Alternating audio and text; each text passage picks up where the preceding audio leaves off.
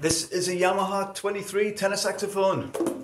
And these are your typical school band tenors, your beginner tenors, or so we're led to believe. And of course, they are made of brass, which is thinner, a bit more light in feel than the Yamaha 62s and the Pro models. But in my view, that's a good thing because the horn is a lot more vibrant, it has more edge and more attack, and it projects like hell. It's just fantastic. It just cuts right across. So any pros out there who want a horn which will cut across in a horn section, the best kept secret in my view is these Yamaha 23s. They are wonderful. The 23s and the 25s, which has the high F sharp, 23 doesn't. These are fantastic tenor saxophones in their own right.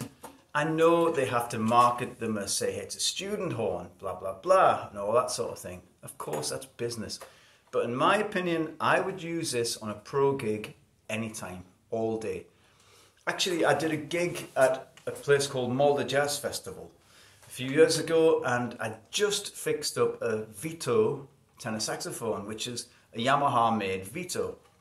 It's basically Yamaha 23.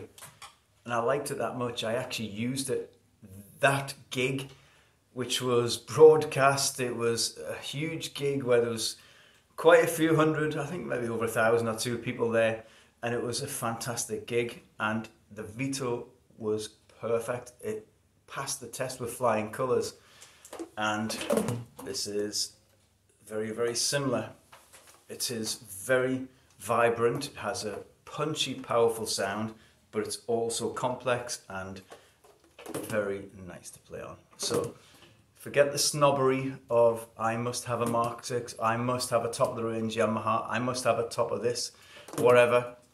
These 23s, if you can get one, and I've set this up, I've changed out pads, I've rebuilt it and tightened up all the mechanic, so it's a solid playing horn. They're wonderful.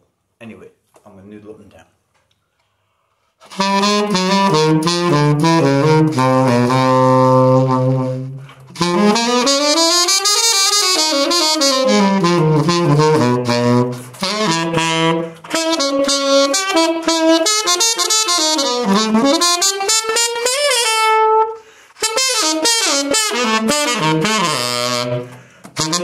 to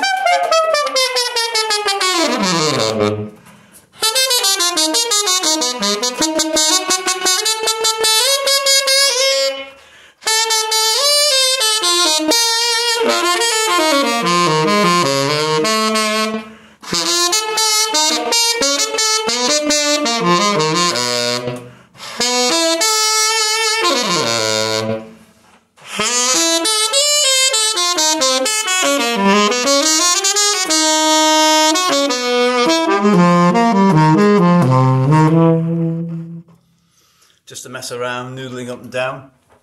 It's a fantastic horn, uh, fantastic horn in its own right. Yamaha 23s, I don't care what the marketing strategy on these saxophones are. I would definitely use this on a pro gig any day. It's really, really brilliant tenor saxophone for the money that these cost. Have a great day.